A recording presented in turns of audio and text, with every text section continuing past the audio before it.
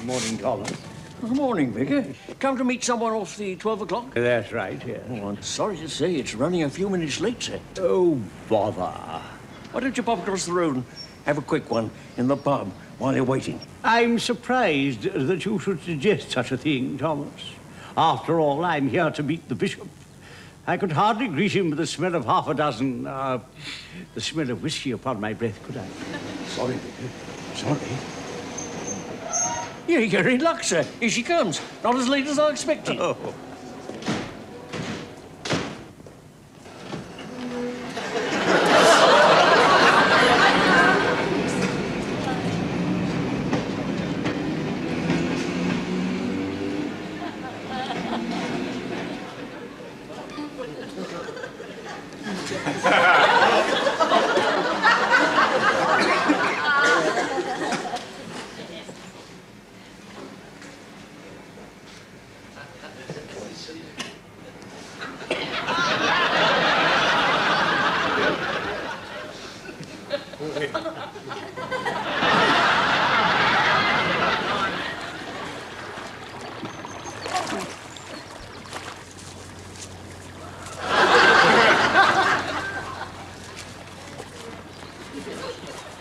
What what happened to him?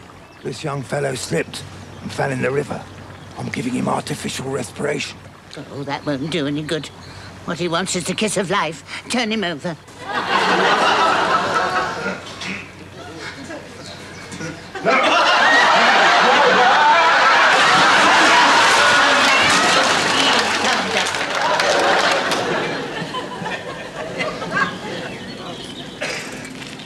Ah, morning to you, sir. Morning. 50p, eh? Ah, that's what it says, sir. There you are. Oh, thank you kindly, sir. Well, Well, what, sir? pick your own strawberries. Where are they? Oh, don't about yours, sir. Mine are in the back there. What? What did you take the 50p for then? The advice, sir.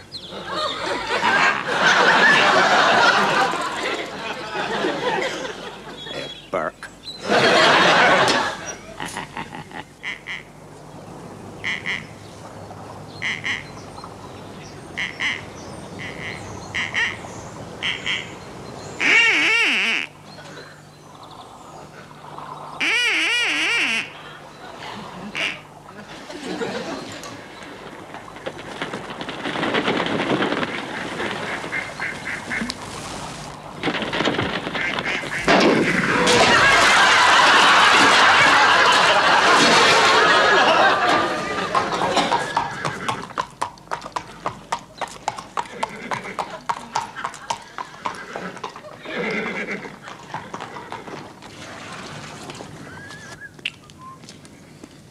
Ah, good morning.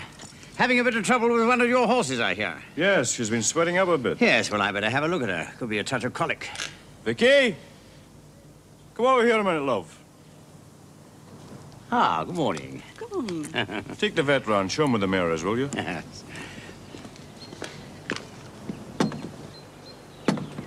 Ah, whoa, whoa, whoa. Steady, girl. Steady. Whoa, ah. Ah, ah, there's a good girl. Whoa, whoa, ah.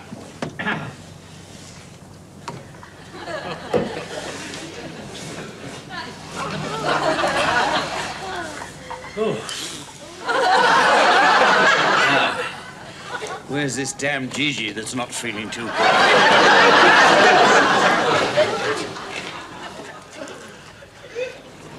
Ah!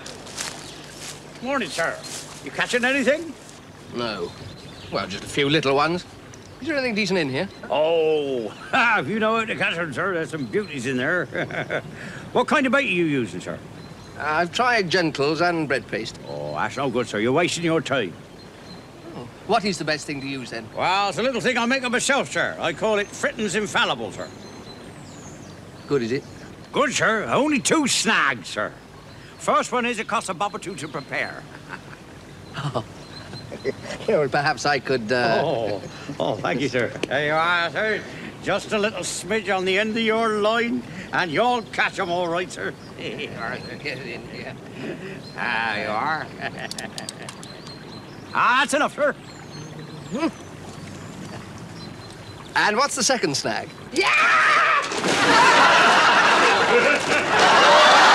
That's the second snag, sir. oh, good morning, ladies. Good morning, Vicar. I don't know if I mentioned that about six months ago, we were fortunate to have a visit from the pipe band of the Royal Fusiliers. Really? And how do they perform? Extremely well from the look of things.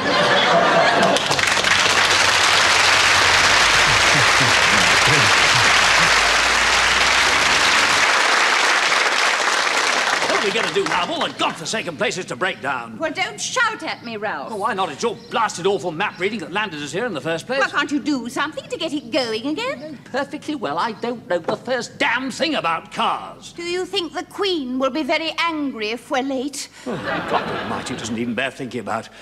I'll be kneeling in front of her two hours late and she'll have a sword. Day. Ruined your day. What the devil do you think it's done to mine? Here I am getting a knighthood for running the biggest car manufacturers in the country, and one of our own blasted cars can't even get us from Northampton down to Buckingham Palace. I would have thought since you make cars, you'd know how to mend them. I have told you before, I do not make them. My job is simply to explain away the millions of pounds we lose every year.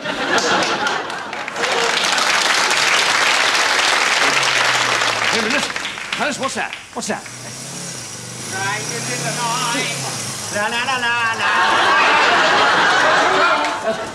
Look, I'm terribly sorry to trouble you, but Yeah? um, uh, do you know anything about car engines? Well, a bit. Not a lot, but a bit. Well, you see, I don't know anything at all about them, and I've broken down. I was wondering if you could possibly help me. Yeah. Get off. Come on, hurry up. That's my bird, that is. She's not much in the mental department, but physically. we were driving down to Brighton for, uh, well, you know what people drive down to Brighton for, don't you? Hello there. You're all spraunced up, aren't you? you going to a wedding or something? Oh, no, uh, Buckingham Palace, as a matter of fact. Ah, well, ask a silly question. Oh, no, really, no, no, you see, I'm, uh, I'm going to get one on the shoulder. You keep looking at my bird like that, mate, you'll get one up the nostril, aren't you? Well, what you got here, then? It's, um, it's a Ryman. A Ryman? A load of bloody rubbish they are. yeah, I should know. My brother works for them. He's a swiper. Uh, swiper, uh, what's that? Well, they put the bits in the stores and he swipes them out again. He'll nick you an engine if you like. I'll have you know my husband is in charge of that company. Oh, well, he can nick one for himself then, can't he, eh? well, let's have a look at the old jalopy, shall we? Oh, I say, ready? Oh, how, how very kind of you. Well, now, uh, uh, what do you think? Um, any hope? Always, always hope, mate. Always hope, yeah. And uh, you say you don't know very much about this? Well, no, no, I'm afraid I'm totally ignorant. Well, in that case, you've got a disconnected judder chaser, which is out of alignment with the Fergal rod. Heavens, well, is that bad? Well, it's not bad, as long as you don't want to go anywhere, you know. Still, well, I do. I mean, I want to go to Buckingham Palace. Yeah, well, I can fix it in a couple of hours. Two hours? Yeah, you might as well nip behind the Edwards and Missus and make the most of it, mightn't you, eh? We can't keep Her Majesty waiting. What possible excuse can we make? Well, tell her you read the invite wrong and went to the Victoria Palace. Look here, we've got to get there somehow. yeah. Of course, there's always the bike. Why, you, would, you wouldn't really, would you? Lend us your bike. I won't lend it. No, I'll hire it to you. Oh, really? How much? How much you got? Yes, oh, come on, uh, quickly. This is cash, chop chop. Yeah, Uh, there we are. There must be, um, well, I think it must be about 80 pounds, eh? Oh, great. Wait, get your helmet. That's right. You'll need these. Oh. There you are. Oh, thank you very much. I'll go and start the bike for you. There we are, Liz. Put it on, dear. Know which way round, don't you? There we are. Yeah. Ah, It's all yours. how splendid. Going beautifully, that is. There's my card. Oh, come, missus. Now, uh, yeah, well, when you uh, when you bring back my car, you can pick up your bike. Right. Well, off we go, Liz. Here we are. Give my love to him and her.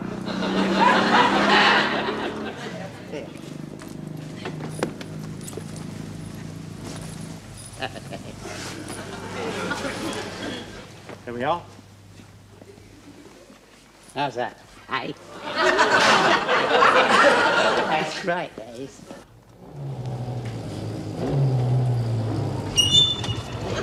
Excuse me, sir. Yeah? You haven't seen a couple on a motorbike by any chance, have you? Uh, both wearing German helmets. Why? Well, they nicked that bike from the forecourt of a garage down the road. Oh, yeah. Naughty, naughty, eh? Yeah. Well, a couple did go by, yeah? They went that way. Oh, thank you very much, sir. Yeah. Cheers.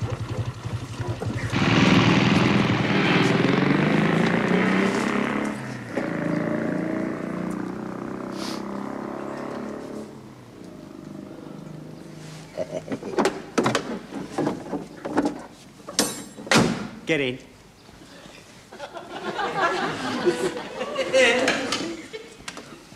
No point in driving down to Brighton now, is there?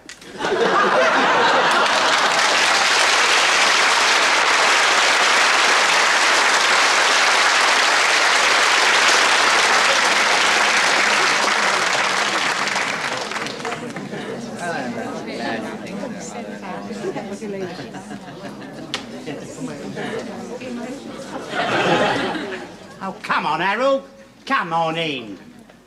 I don't like it, Sid. I don't want to do it. Listen, do you want to earn £500 or not? Yes. Well, come on in then.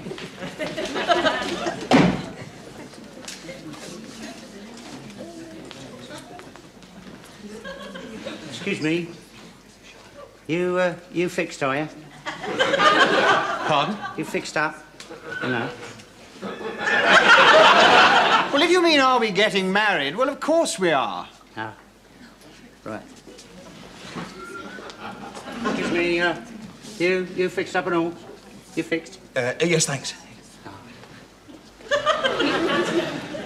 Uh, you sorted out, you two? Yes, thank you. Any of you, uh, any of you ladies want a husband?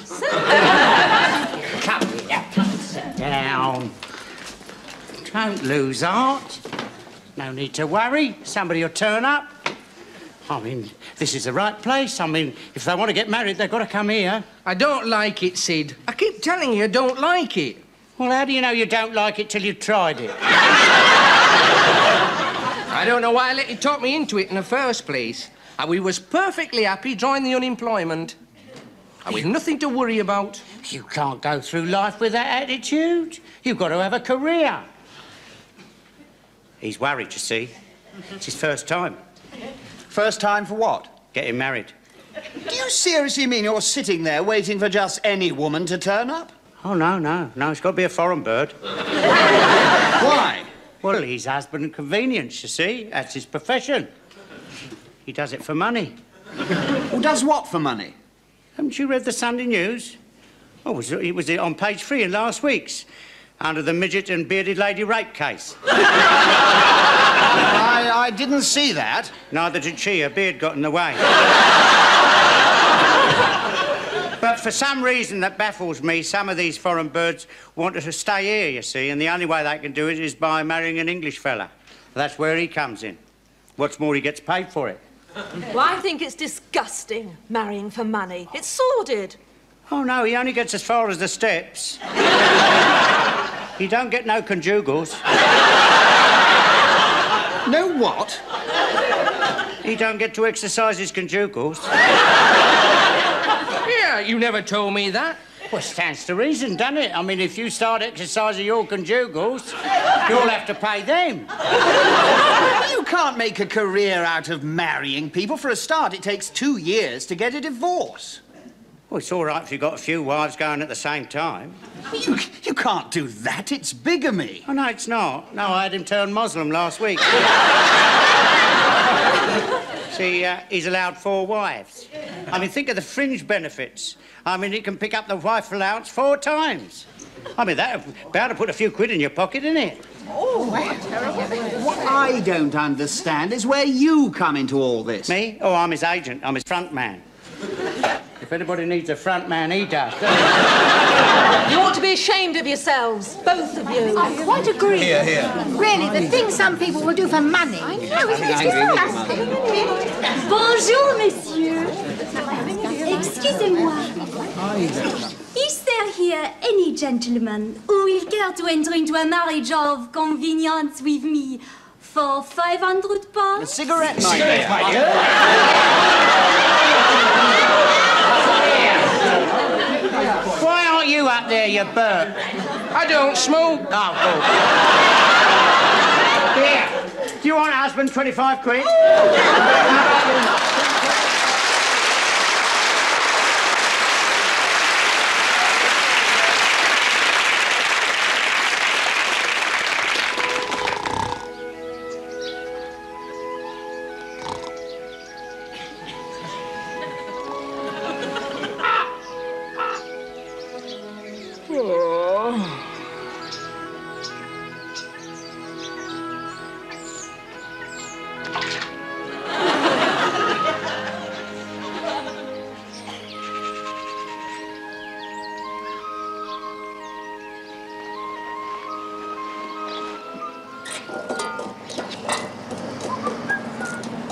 Ah, good morning, college. A bit late today, aren't you?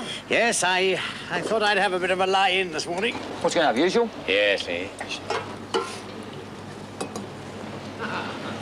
Bit lippy this morning, aren't it? Yeah.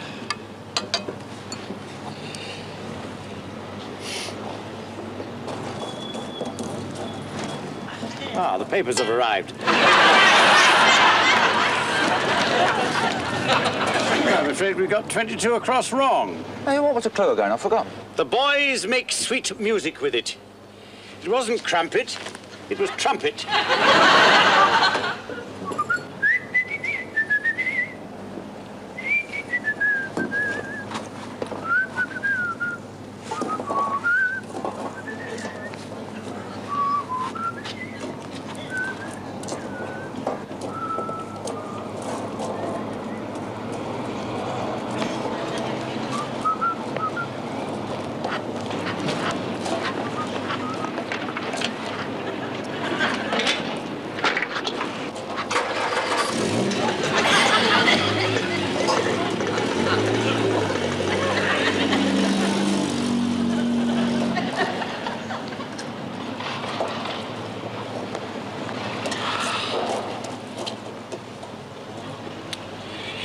Hi, college. Where's my tin mug? I'm sorry, Charles, old man. I'm afraid you've been mugged.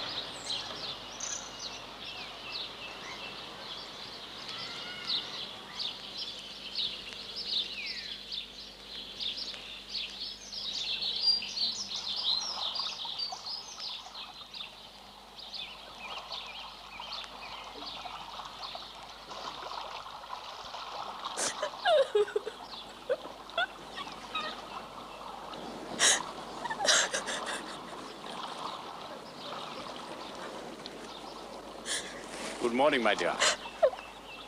Morning. You, uh, you seem to be in some kind of distress. Is there any way I can be of assistance? No, I'm perfectly all right. Really? You've been peeling onions, perhaps. Of course not. That's better. Young lady, may I suggest that you confide in me? After all, I, I'm an expert navigator upon the sea of trouble.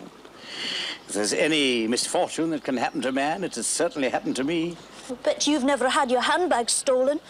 No, but uh, a brigadier of my acquaintance once did. It wouldn't be so bad. Only my return ticket back home was in it. Where's that, my dear? Machrihanish. Sounds like a Scottish version of Bubble and Squeak. ah, ah, that's better. Now you're beginning to enjoy life. Tell me, what's your problem? No money? That's it exactly. I need fifteen pounds and thirty-seven pence to get back to my mum. Fifteen per... A mere trifle. Consider the problem solved. Here, wait a minute. I'm not taking money off you. After all, you're a total stranger. Well, allow me to introduce myself. I am Lancelot Castlemaine Orpington Penrose. Are you? And you had the nerve to laugh at Machrihanish. and let me tell you, my dear, you couldn't take money from me because for the simple reason I haven't got any. We're both in the same boat then. However, I do happen to have one attribute which is worth more than a king's ransom. What's that? Low, dirty animal cunning. tell me, have you breakfasted? Not a bite. I'm starving. Then allow me to escort you to the local bistro, an establishment known as Murphy's Pie and Beans. Come, my dear. allow me. Oh, thank you. Uh, by the way, my friends call me College. My name's Morag. Charming, charming.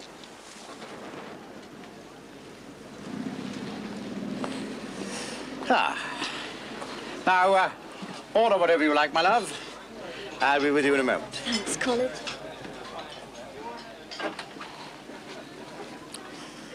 Ah, yes.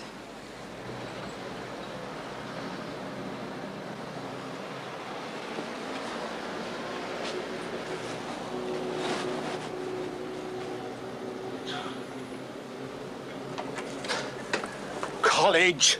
Ah, bonjour, Monsieur Louis. Uh, comment ça va? College, please kindly move away from our premises, will you? Pray, what disturbs you, my sartorial Semitic specialist? The clothes, the gear. Look at you, standing under this sign. Looks like I made 'em, done it? Exactly. Having nothing better to do, I was endeavouring to direct passers-by into your excellent emporium. Oh, yes? Well, I don't need it. I don't need it. Here, here, come here, come here. Take a quid with my kindness cigars. Now, go, go. Schmites. Go on. How nice to have my services appreciated. May I bid you shalom aleichem? I think. Get knotted yourself. Oh, thanks, College. That was a smashing breakfast. A pleasure, my dear, a pleasure. And now to your other little problem.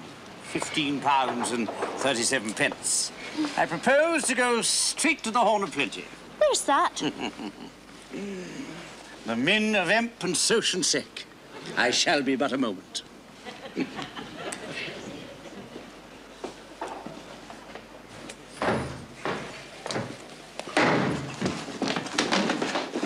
I'm telling you for the last time, College. You may describe yourself as a professional explorer, but you are not getting 20 pounds out of us to start an expedition up the Limpopo. Now, clear off. Bureaucratic peasant. My dear.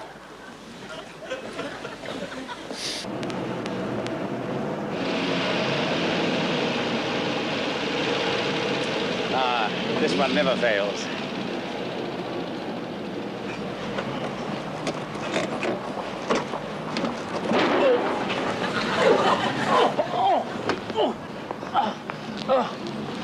Oh, my contact lenses.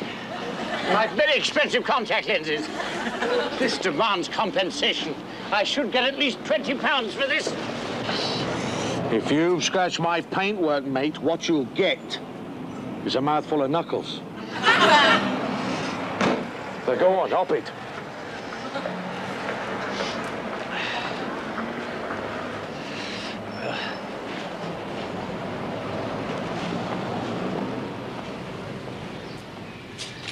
I'm very, very sorry, but that's how it is, College. We'd love to help the young lady, but uh, at the moment we're out of funds. In fact, we're probably more broke than you are. Oh, well. Give the drum a couple of belts for me, will you, Major? Bless you. Now take my advice. Don't worry. Just put your trust in Providence. I will, Major, I will.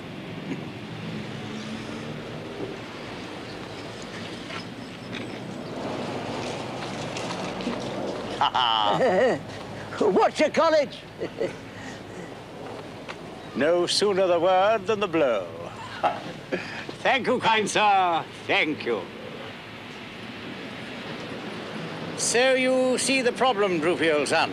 The young lady is in urgent need Half a quid or two. Yeah, I do understand, College, and believe me, I'll do anything I can to assist. Ah, it gives me great comfort to know that we have your full cooperation. Oh, it's a pleasure. yeah. What you got that brick for, College? Oh, no. Not the pavlova, not the dying swan. Needs must when the devil drives, old son.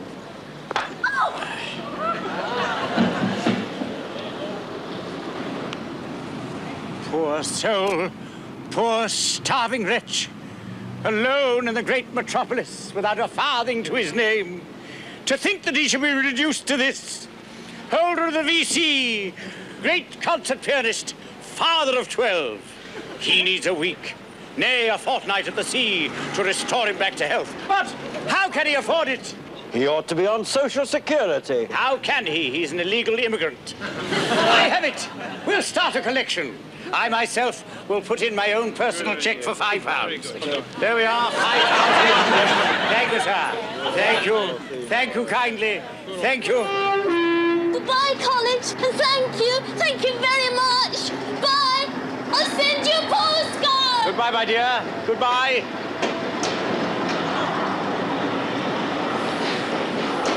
Ah, well, son. A happy outcome to a charming encounter. It was a pleasure to lend her that extra 15 quid. Smashing little kid, wasn't she? Certainly. Ah, College. Seen off a friend, were you? Yes, a sweet little soul. Little Morag from Machrihanish in Scotland. Oh, yeah. A Glasgow Gert, you mean? Glasgow what? You were a right little villain, that one. God, She must have made hundreds out of that little girl lost routine. Glad to see the back of her. You. You have my full permission.